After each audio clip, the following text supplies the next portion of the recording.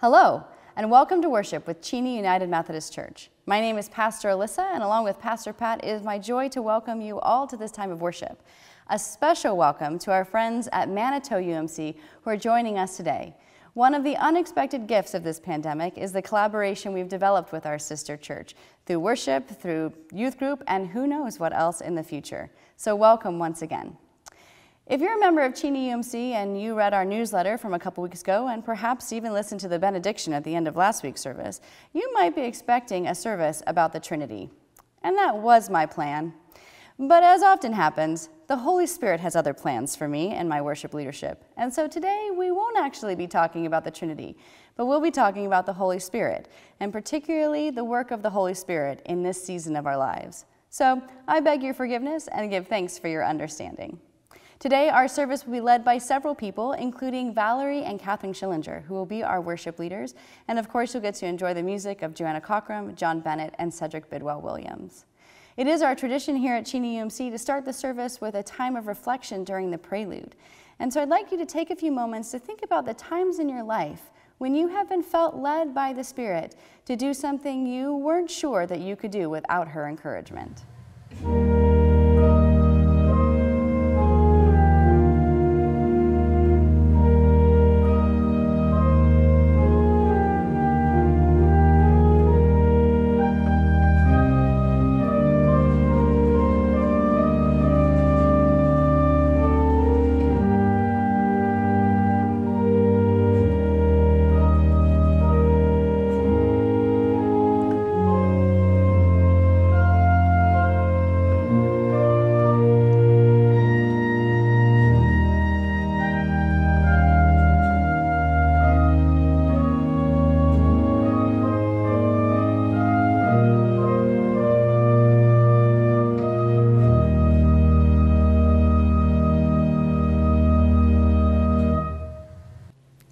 Valerie Schillinger, and this is Catherine Schillinger. We will be leading you in the call to worship today. Please follow me in the bolded portion of your bulletin. Though many places in the world are burdened by the pain of a pandemic, the peace of God is poured out for all people. Though discord and struggle have become factors in the lives of the people, the love of God is lavish on all people. Let us praise the God of love and peace. Let us sing God's song of peace and justice for all people. Amen.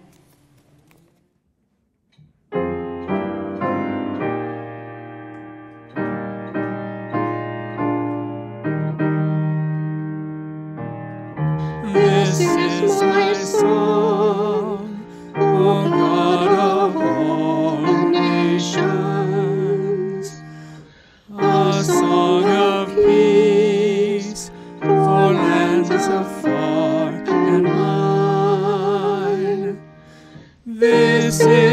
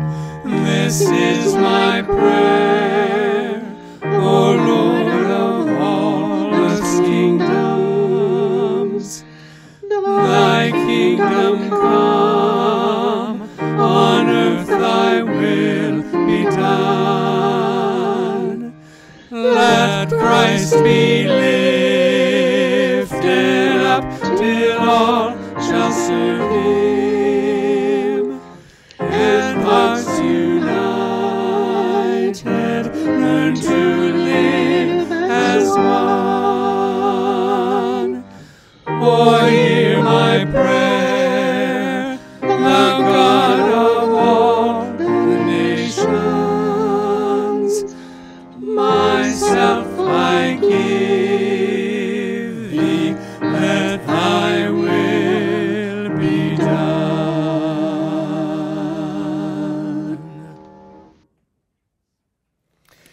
friends. Pastor Pat here, and it's my pleasure and my privilege to share the opening prayer with you this morning and to encourage you to use this opening prayer as an opportunity to center yourself and prepare for worship. Let us be in an attitude of prayer. Abba, Father, we praise you. Through your boundless grace and mercy, we have been set free, free from the controlling power of sin, free from a way of life that leads only to death, free from hopelessness and fear.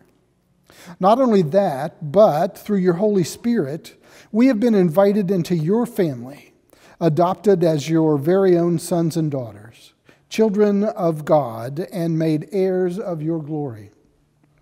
And so, no matter what comes our way, we live in confidence and hope, eagerly anticipating the day when all of creation will be made new, when justice shall roll down like a mighty river, and righteousness like an ever flowing stream.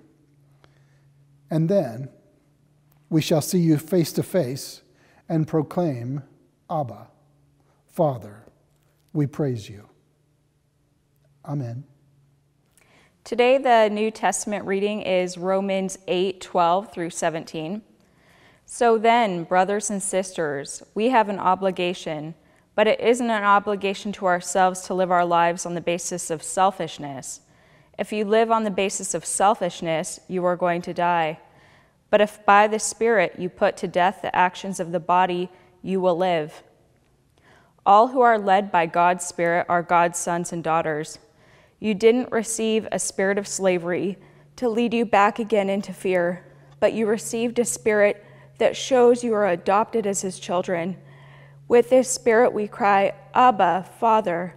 The same spirit agrees with our spirit that we are God's children. But if we are children, we are also heirs. We are God's heirs and fellow heirs with Christ. If we really suffer with him, so that we can also be glorified with him. The word of life, thanks be to God. If you had an opportunity to worship with us during our last sermon series on 1 John, and I know our friends at Manito UMC got to join us for the first Sunday in that series, our scripture reading for today might have you thinking, oh no, here we go again with all that heavy children of God theology. If Pastor Alyssa starts talking about love again, I really thought we were done with all of that. Well, we are done with the love stuff, but we only got one week's reprieve from the children of God stuff while we celebrated Pentecost. It turns out that the author of 1 John isn't the only New Testament epistle writer who was concerned with the children of God. Paul also had some things to say to and about the children of God that he was working with during his ministry. In this case, it's the church in Rome that he established, and like John, he wants to make sure that he's helping them establish the right relationship between themselves and God and between themselves and others, which is why he refers to them as children of God, just like John did, to remind them that God is the parent and they are the kids. God holds the role of nurturing us, guiding us, protecting us, and so forth, just like a human parent. And we kids? Our job is to respect, listen to, and follow God's instructions so we can grow up to be righteous, holy, and loving members in the family of God. Which is why Paul also refers to the Christians in Rome in the same way John did to his audience, as brothers and sisters. By naming them as such, Paul reminds them that they not only have a familial relationship to each other, they have an equal relationship to each other. They have all been adopted by God into God's family. They're no longer strangers to one another. They're no longer insiders or outsiders. Their individual status as children of God compels them to recognize each other as part of this family and treat each other as such. Because for Paul, being a Christian means accepting the obligation to be a part of a whole, to no longer live as an individual focused solely on the self. Instead, Christians are called to share in a communal identity as members of the family of God and to communicate and to relate to each other with love, trust, and respect, born out of an acknowledgement that every sibling in Christ is an heir of the same spirit that Jesus received at his own baptism. And here's where Paul deviates theologically from 1 John. Thank goodness. For Paul, it's all about the Holy Spirit when it comes to living a life in God. Without the Spirit, Christians would be adrift in the world without a sense or direction or purpose. Which is why, right after Jesus ascended to heaven, the Spirit was sent down on Pentecost to serve as our guide and our means by which we stay connected to God and to each other. It's a great mystery how the Holy Spirit works. But Scripture teaches us, as does the tradition of the church and even our own personal experience, that the Spirit serves as God's present within us and is the power by which God is revealed to us and becomes present to us. In our scripture reading for today, Paul endeavors to teach the Romans some of the ways in which the Spirit enables them to be in relationship with God and with each other. He has two main points. First, the Spirit provides unity in the body of Christ through our shared identity as children of God. And two, the Spirit leads us to put to death the actions of the body. Let's start with unity. As I've already talked about a few moments ago, it's the Spirit that leads us on the path to belonging in the family of God. At our baptisms, when we claim our faith and dedicate ourselves to following Christ, the Holy Spirit descends upon us, as she did at Jesus' baptism, to claim us as God's beloved child and equip us for ministry. This claim demonstrates our individual adoption by God and declares our new corporate status among the many children of God. From this shared identity, Paul asserts that Christians all across the spectrum of human diversity can experience unity with one another and with God because the Spirit initiates the way to this unity and sustains it within the body of Christ. You might recall this theme popping up in another of Paul's letters, where he writes the church in Galatia saying, You are all God's children through faith in Christ Jesus. All of you were baptized into Christ and have clothed yourselves with Christ. There is neither Jew nor Greek, there's neither slave nor free, there's no male or female, for you are all one in Jesus Christ. And now, if you belong to Christ, then indeed you are Abraham's descendants, heirs according to the promise. Sounds a lot like our reading for today, don't you think? Paul was pretty consistent theologically, it turns out. And unity within the body of Christ was a really big deal for him. Pick any letter from Paul to any of the churches that he planted, and you'll find the message of unity among the body of Christ embedded somewhere. And this isn't just because Paul likes a good theme. It's because Paul had figured out that as soon as you gather a group of people together, a group of uniquely gifted and diverse people, you tend to get some conflict. People have different opinions about how to talk about Jesus, how to interpret scripture, how to organize for mission, and more. If you read further into Romans, you'll learn they were having some issues around a variety of things, like accepting each other, whether you were Jewish or Gentile, what to do about governing authorities, taxes, and even personal dietary choices. While Paul acknowledges that differences in origin, practice, opinion, and more existed within the Christian churches he established, he firmly believed that it should be no barrier to unity in the church because everyone who was a Christian received a new shared identity with each other through the Holy Spirit. And the Holy Spirit, as demonstrated on Pentecost, is pretty good at bringing everybody together for shared mission and ministry, despite any differences they may possess. Another struggle Paul observed among his Christian converts, and honestly in himself, was the daily struggle between the will of the flesh, in other words, our physical bodies, and the will of the Spirit. In more places than I can explore in one sermon, Paul addresses the challenge of living in a human body with all its needs and demands, frailties and failings, while also being an indwelling of the Holy Spirit with all her needs and demands, strengths, and sanctifying powers.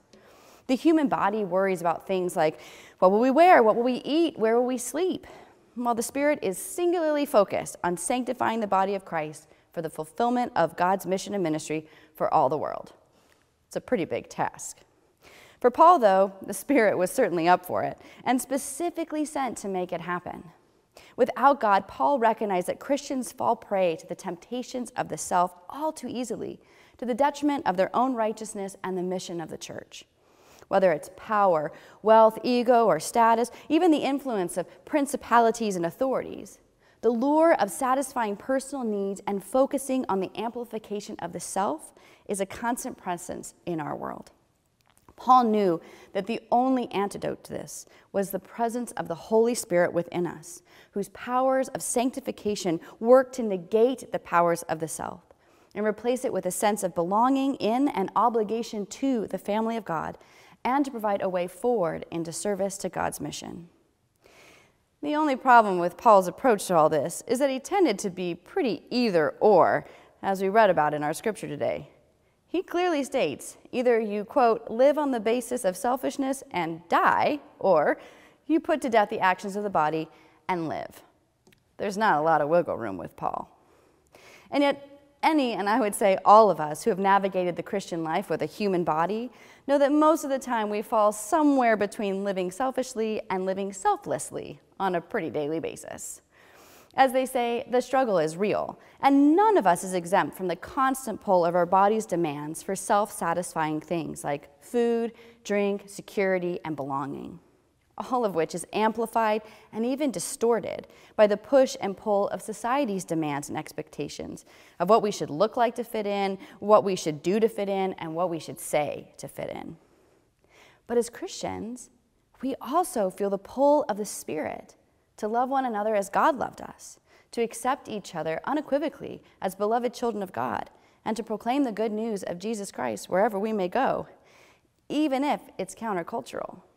So while Paul's either or approach might not be achievable right now, this minute, because we can't realistically escape our bodies or remove ourselves from the world in which we live, we can name that struggle. And we can invite the Spirit who is already with us to lead us in the way of God anytime we feel that tension arise. Do you think we have any tensions going on right now in the body of Christ about what our physical bodies and society desires right now and where the Spirit might be trying to lead us? I mean, we're only living in a moment of slowly emerging from a worldwide pandemic that has existed for 15 months, forcing us to close down our churches while we physically distance from one another with masks and stay at home orders, all the while learning how to transition most of our social interactions to the virtual realm. Anybody feel any tension around that? I know I do. Tension around how to safely resume in person mission and ministry after all we've been through in the last 15 months? Yeah, I'm feeling that tension. And I know from talking to some of my colleagues, like Pastor Tiffany and many of the layfolk at Cheney UMC, that I'm not the only one. We are all facing an unprecedented time in the life of the church where we're being asked to make decisions and commit to safety actions that we have never before had to navigate. We're tasked with making plans to reopen our churches for in person worship ministry that have to take into consideration the CDC guidelines, which change constantly, the governor's COVID restrictions, which also change constantly, the bishop's new framework, which gives us more flexibility than we've grown used to, as well as our own congregational makeup, the architecture of our facility, the bandwidth of our Wi Fi. I could go on. We also have to take into consideration vaccinations, such as who can and can't be vaccinated, who is and who isn't, who will be and who won't, and the reality that variants and mutations seem to be popping up all over the globe. On top of all that, there's so much information and misinformation swirling around on a daily basis that it's hard to know what is right and what is wrong, what to do and not do, how to move forward, or if we should just stay put. And it turns out that just about everybody has an opinion about what we should do, often a different opinion of what we should do or not do as a church, how soon we should do it, whether or not we should mask up, go outside, stick with what we're doing until it's really safe, or something else. And we have to name that after such a long time in isolation, of staying home and staying safe, of, of hiding behind masks, no one could be blamed for falling prey to the desires of the flesh, which deeply yearn for the healing power of Christian community, replete with all the warm hugs, steady handshakes, and close conversation over coffee. Y'all see now why the Spirit said I should probably scrap that Trinitarian lesson for today and focus on her? She's wise, that Holy Spirit. It turns out that while the theology of the Trinity is very important for the church generally, right now, Paul's message to the Romans about letting the Spirit lead is exactly what we Christians facing our own season of challenges need to hear. As we consider how to reopen our doors and offer in person worship and ministry, we need to be reminded that we don't make those decisions in an individual vacuum of personal choice. In the body of Christ, every decision we make is done so out of an obligation to our shared identity as members of the families of God at Cheney UMC and Manito UMC. There's no room for selfishness in our conversations about how to make our sacred places of worship safe and accessible for every member of our congregation and for anyone who comes to us seeking a life with Christ. We have to consider that at this time, our children under 12 aren't yet eligible for vaccines, and that we have members of every age who can't be vaccinated because of medical conditions, and others who, at this time, are making the choice to remain unvaccinated. We have to take into consideration that even with all the safety measures in place, some of our siblings in Christ will still need to stay at home to stay safe. And we have to continue to offer them ways to engage in worship and ministry through at home bulletins, virtual platforms, and more. As Paul reminds us, we are all adopted as God's children. And as members of the family of God, we must therefore provide for the spiritual welfare of every member using all the resources at our disposal. But in addition to caring for one another's spiritual welfare, we are also obligated to care for one another's physical well being. Though Paul did encourage us not to let the desires of our flesh dictate our actions in the world, he did not discourage us from nurturing one another and providing for one another's physical safety. To this end, we have some challenging conversations ahead about continuing to wear masks, how to arrange our seating to provide safe distancing, how to host coffee fellowship outside, and what to do about passing the peace and, yes, hugging. The principalities and authorities of our world might say that we can abandon masks if we're vaccinated. But does that match with our commitment to treating all with equal dignity and respect within the body of Christ? If even one among us is unvaccinated, are we not obliged to do everything in our power to make sure they not only feel welcome at worship, but safe and accepted? Society might tell us that people are on their own if they can't or won't be vaccinated, but does that fit with our Christian value of honoring that everyone is a child of God and has belonging in the family of God? I told you there'd be some challenging conversations ahead. But here's the deal of why this passage from Romans is just what we needed to hear today and why I scrapped my Trinitarian message. The Spirit has been sent to lead us. I truly believe that it is only by the Spirit's leading that we were able to adapt to the impact of this pandemic 15 months ago. With the Spirit's leading, both of our churches figured out how to close the doors of our facilities without closing down our ministries. With the Spirit's leading, we learned how to worship virtually via YouTube, how to study the Bible and join in Christian fellowship on Zoom, and how to stay connected through email, social media, and good old fashioned snail mail. With the Spirit's leading, we figured out how to celebrate Pentecost, the birth of Christ, and the resurrection at home, and got creative with our music ministries, our youth gatherings, and even things as mundane as the offering. One year plus of disruption to our usual way of doing things, and with the Spirit's leading, our two churches didn't miss a beat. And just as I truly believe that the Spirit's got us through this mess, she will get us out of it. By the Spirit's leading, we will reopen our doors and welcome each other to worship in our sanctuaries, to study the Bible in our classrooms, and share in Christian community in our fellowship halls in time. By the Spirit's leading, we will figure out how to arrange our worship spaces to ensure safety, how to continue to include music and worship without live singing, and how to celebrate the sacraments without removing our masks. And by the Spirit's leading, we will learn how to push our selfish impulses aside and embrace the obligation of adoption as children of God to make our church home safe for everyone so all people can seek new life in Christ no matter what. The Trinity will always be there for us to study.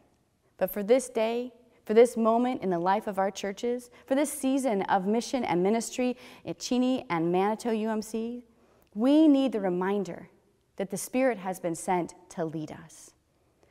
So let us go forth from this time of worship, embracing the obligation that is before us, in the sure confidence that we do not go forth alone or without direction.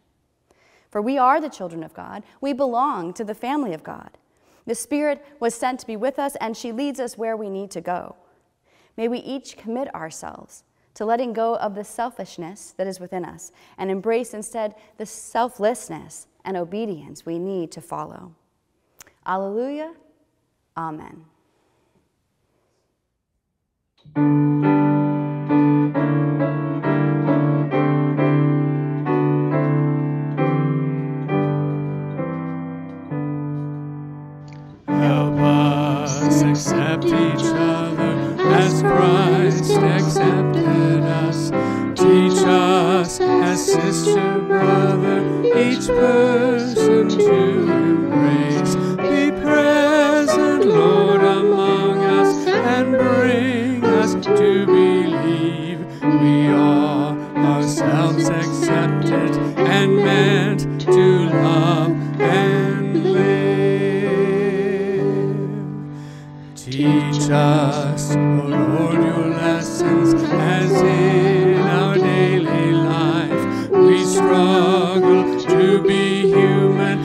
Search for hope and faith. Teach us to care for people, for all, not just for some, to love them as we find them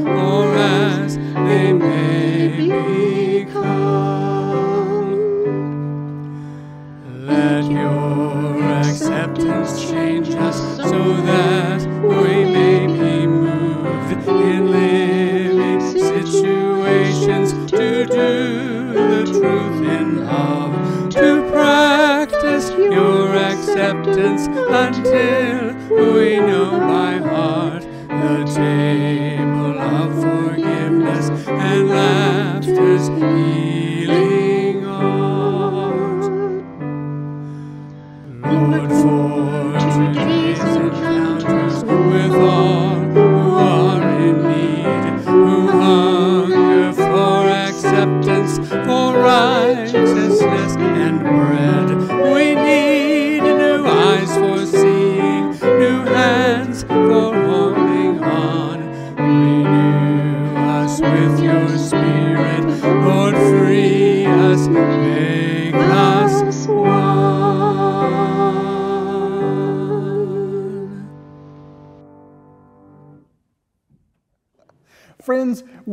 pausing for just a moment to share the pastoral prayer and the Lord's Prayer together. At the end of the prayer, the Lord's Prayer will show up on the screen, and I invite you to uh, talk uh, to pray along with me. Gracious Lord, we dream of a world free of poverty and oppression, and we yearn for a world free of vengeance and violence and we pray for your peace. When our hearts ache for the victims of war and oppression, help us to remember that you healed people simply by touching them and give us faith in our ability to comfort and heal bodies and minds and spirits that have been broken by violence. When the injustice of this world seems too much for us to handle, Help us to remember that you fed 5,000 people with only five loaves of bread and two fish. And give us hope that, we ha- that what we have to offer will turn out to be enough. When fear of the power and opinions of others tempt us to not speak up for the least among us, help us to remember that you dared to turn over the tables of the money changers and give us the courage to risk following you without counting the cost. And when we feel ourselves filled with anger at those who are violent and oppressive, help us remember that you prayed for those who killed you and give us compassion for our enemies too. When we tell ourselves that we have given all we can to bring peace to this world, help us to remember your sacrifice and give us the miracle of losing a little more of ourselves in serving you and our neighbors. Walk with us, Lord, as we answer your call to be peacemakers. Increase our compassion, our generosity, and our hospitality for the least of your children. Give us the courage, the patience, the serenity, the self honesty, and the gentleness of spirit that are needed in a world filled with turmoil and terror. It's for your peace and justice that we now pray. Filled with your Spirit, using the words Jesus taught us, beginning, Our Father who art in heaven, hallowed be thy name. Thy kingdom come, thy will be done on earth as it is in heaven. Give us this day our daily bread and forgive us our trespasses as we forgive those who trespass against us. And lead us not into temptation, but deliver us from evil. For thine is the kingdom, the power, and the glory forever. Amen. And now, friends, I invite you to join in the closing hymn, Let There Be Peace on Earth. John, take it away.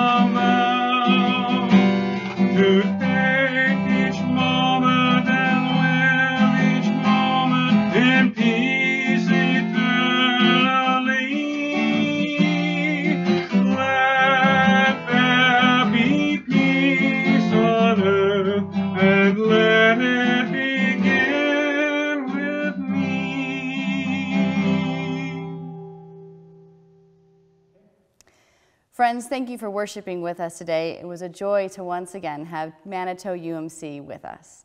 Please receive this benediction. As we go from this time of worship, remember this.